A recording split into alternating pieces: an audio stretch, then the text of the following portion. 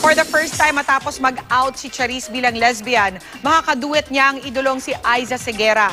Exclusive na nakuna ng GMA News ang rehearsal ni Charisse at Aiza para sa isang event.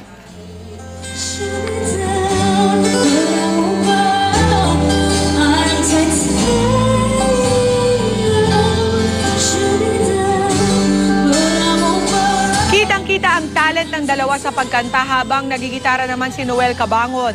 Dream come true raw ito para kay Charisse. Tinitingala raw kasi ng singing sensation si Aiza, hindi lang sa pagkanta kundi pati rin sa pagpapakatotoo. Ah, parang iniisip pa lang namin talaga couple of weeks ago since, you know, the big come out. Kumbaga ngayon, kumbaga proud ko lang nasasabi na, oh, idol ko yun. Very thankful ako, syempre, first of all, kay, kay Aiza